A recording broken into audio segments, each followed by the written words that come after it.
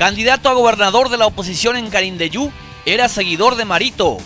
César Leizamón, ex candidato a diputado por el UNACE en el 2013, actualmente candidato a gobernador del departamento de Carindeyú por el Partido Democrático Progresista, en una alianza integrada por el PLRA y varios otros partidos de la oposición, también formó parte del movimiento Colorado Añetete como candidato a la Junta de Gobierno. El 25 de abril de 2015 se desarrollaba un acto político en el Salón Galas de Curuguatí con la presencia del candidato a presidente de la Junta de Gobierno de ese entonces, Mario Abdo Benítez.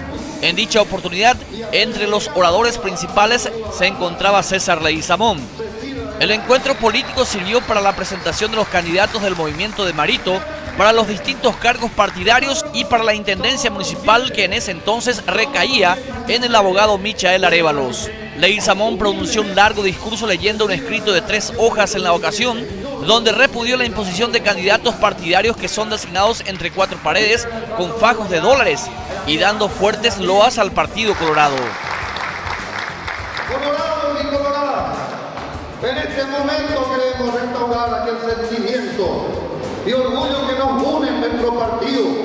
Queremos volver a encender la llama que nos consume diferencias que hoy dividen y hoy corroen la genuina idea del propósito de nuestro partido.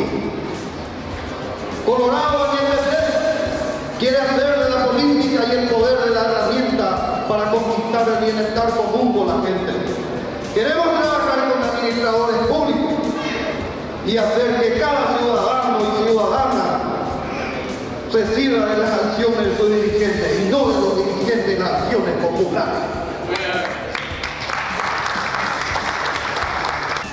Coincidentemente, del mismo movimiento Colorado Añeteté surgió posteriormente César Tigre Ramírez, su adversario en las generales del próximo año por la gobernación de Carindeyú.